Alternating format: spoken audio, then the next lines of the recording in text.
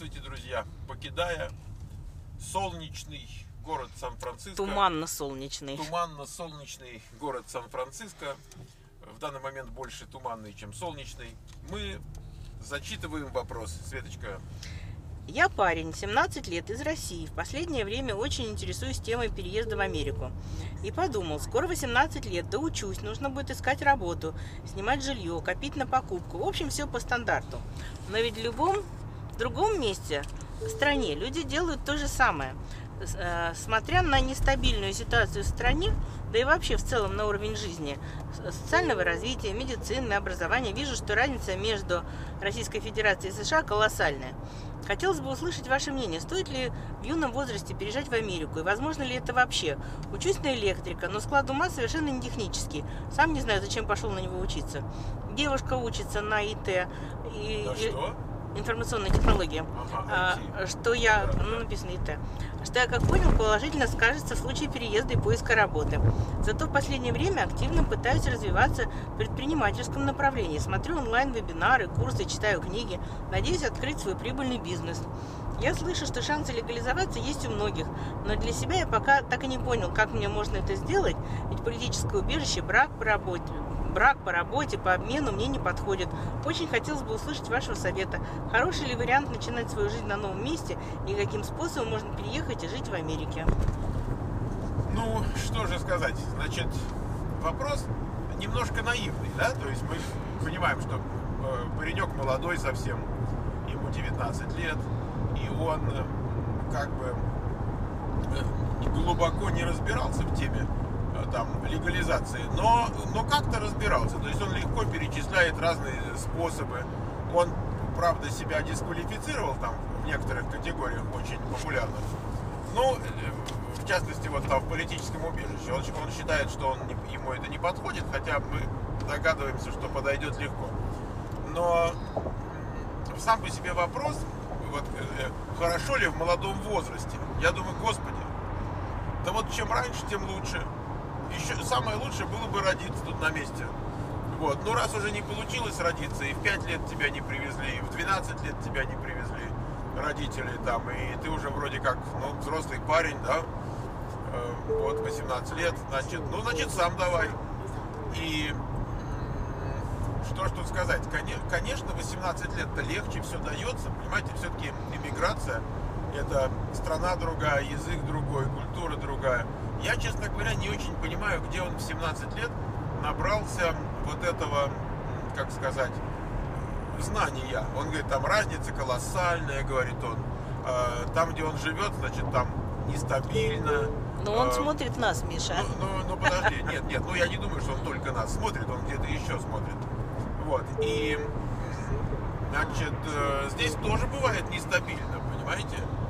Я вам скажу, что когда я этот канал вот на- начинал в том формате, в котором он сейчас существует, это было всего три с небольшим года назад. Всего три с небольшим.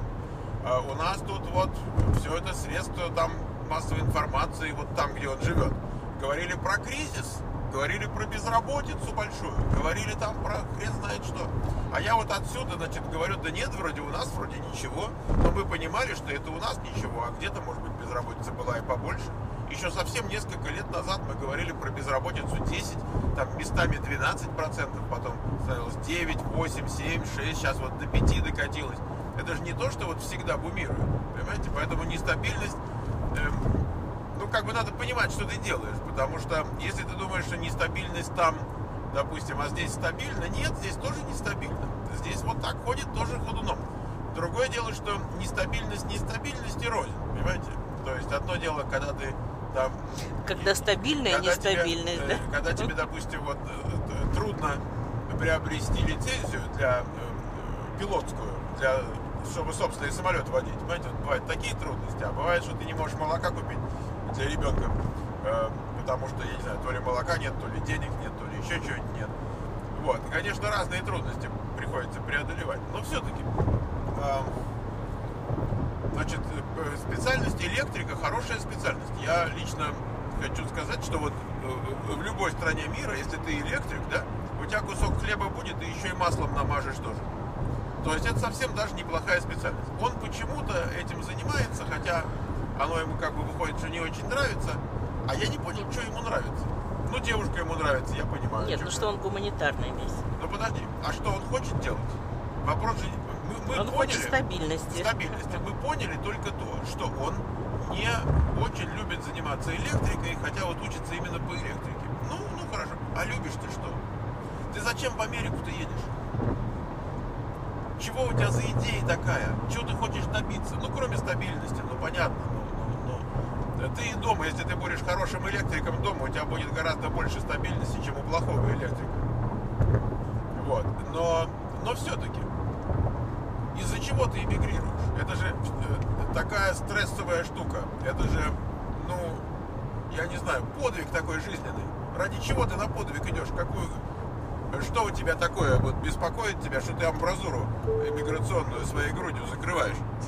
Тебе надо куда-то ехать, легализоваться, ты не знаешь как, не знаешь чего. Ради чего все? Понимаете, вот я этого не услышал. То есть вот он говорит, я вот сравниваю две страны. Сравнивает он по источникам, которые ему как-то, ну, понятны, близки, доступны. Доступны. И вот по этим источникам он говорит, да, смотри-ка, уровень технологий, значит, несопоставим. Это правда. Уровень жизни населения несопоставим. Это правда. Его еще не волнуют, может быть, такие вещи, как там демократия, свобода, там какая-то, там еще что-то такое. Вот, вот из этого меню. Я бы ушел вправо, но там места нет, а мне мигают. Вот, значит, э, но все-таки.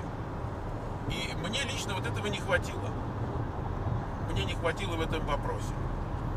Он А, маленький еще. Как маленький, ну маленький, ну, ну подожди, ну воп- вопрос-то взрослый он задает. Конечно маленький, мы же, мы же не говорим, что он должен как в 30 лет рассуждать. Я, я-то э, к чему клоню, что маленький маленький, но он пусть задумается над этим. Потому что главный ты вопрос, на который он еще не ответил для себя, это кто он, к чему он стремится, э, ради чего он на этом свете живет, понимаешь? Тогда вопросы вот эти, которые сегодня его, ну как бы беспокоят, но он не знает, как решить. Вот как легализоваться, понимаешь? У него отпадет вопрос, а как легализоваться. Сразу найдется, как легализоваться, когда он поймет, зачем. Понимаешь? У него потому и нету способа, потому что у него цель Ну, пока что он сказал, что у него есть девушка, которая IT и занимается, и у которой ходовая специальность. То есть он рассчитывает эмигрировать с девушкой, и чтобы она устроилась Светик, на IT. у него специальность тоже ходовая, о чем мы говорим. Но он не хочет, но он не хочет, на расхват, на расхват. Но он не хочет ей заниматься. Это он сейчас не хочет, потому что он не понимает зачем. А когда он увидит, что за это деньги платят, когда он увидит, что там перспективы роста есть, смотри, он вроде бы он интересуется предпринимательством, да? Но как, как он им интересуется? Он семинары смотрит. Да, это дохлый номер вообще. Понимаешь? Он смотрит семинары. Если бы он сказал, я интересуюсь предпринимательством, я уже там четыре бизнеса организовал, каждый раз прогорел, Да. но каждый раз я все больше и больше для себя что-то понимаю. Я бы сказал, вот он, парнище, Да. вот он, понимаешь,